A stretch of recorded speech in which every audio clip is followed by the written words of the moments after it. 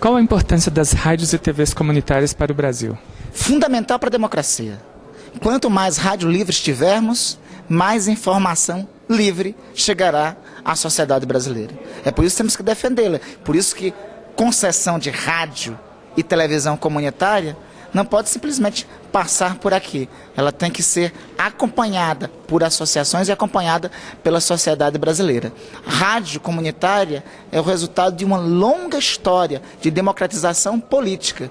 Elas foram discriminadas, perseguidas no passado e avançamos muito nos últimos anos. Mas precisamos cada vez mais de organização da sociedade para termos rádios livres e para tê-las como instrumento de fato de democracia.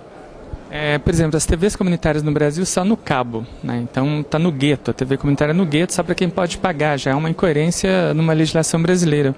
Como você vê, o senhor vê o acesso dessas TVs comunitárias à onda aberta do modelo digital, assim como também as rádios comunitárias ao modelo digital, e o acesso ao financiamento que hoje vai todo para a mídia comercial? É, temos que avançar nesse aspecto. Embora embora no últimos, nos últimos períodos a legislação tenha possibilidade, inclusive, o direito de rádio comunitária, porque era crime há 10, 12 anos atrás, é, a utilização de rádios livres era tratado como crime e temos avançado nesse aspecto e temos avançado na legalização e no funcionamento, mas é, comunicação é um instrumento de poder e um instrumento de poder que continua muito controlado nas mãos de poucos. Então, precisa de mobilização popular para, poder, para ser possível cada vez mais a democratização do acesso. Porque, embora as rádios sejam livres, de fato, o acesso e o, e o financiamento é algo pouco, pouco ocorre,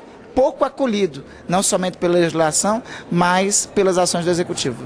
O boicote vem pelo econômico, né? mata-se pelo econômico. Em especial por isso. Embora tenha tido direito de funcionamento, existe o direito de funcionamento, não se tem o direito de existir, porque não se tem caminhos é, de financiamento das rádios, das TVs comunitárias e acaba aqueles que e acaba muitas vezes aqueles que são comerciais conseguindo concessões de rádios e TVs comunitárias que, que acabam não cumprindo o papel comunitário que deveriam.